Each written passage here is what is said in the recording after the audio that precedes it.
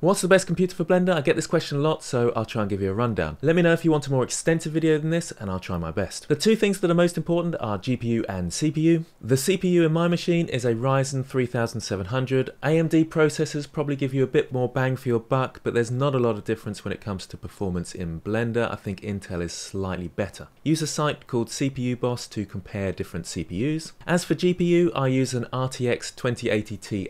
Definitely go for an NVIDIA graphics card ideally 10 series and upwards because then you get the OptiX support and that will greatly speed up your renders. A good amount of RAM is important, 16 gigabytes and above, I've got 32 in my machine. Do make sure you get a keyboard with a numpad and do make sure you have a three button mouse. And lastly, don't use a Mac. Do read the comments below to see what other people are saying and have a bit of a giggle at those annoyed Mac users. Grant is only an artist, not very good with computers. No computers were harmed in the making of this short. Some people actually like Macs, but they're probably not real people.